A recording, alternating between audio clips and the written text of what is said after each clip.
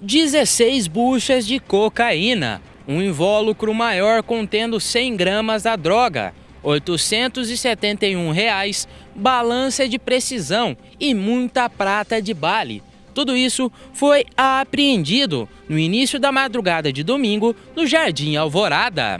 Esta prisão se deu durante patrulhamentos de rotina. Segundo informações, uma viatura passava ali pela rua Manuel Ribas quando avistou um elemento em atitudes suspeitas de frente a uma residência. E essa pessoa, ao perceber a viatura da PM, tentou empreender fuga para o interior da casa. Ele foi seguido pelos policiais que conseguiram realizar a abordagem e lá no interior, na cozinha, encontraram as 16 buchas, além da balança de precisão e o dinheiro trocado. E nesse meio, enquanto ele corria para o interior da casa, ele teria dispensado um invólucro maior. Ele jogou na residência vizinha.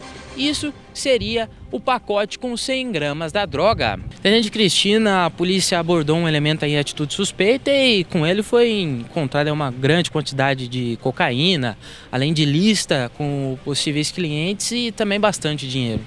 Isso, ele estava em atitude suspeita em frente à residência. Quando avistou a equipe policial, ele tentou empreender fuga até a sua residência, né? Ele foi acompanhado e dentro da residência foi localizado 16 buchas de cocaína, a quantia de 870 reais, uma balança de precisão e também a lista com o nome de alguns clientes, né, que ele vendia essa droga.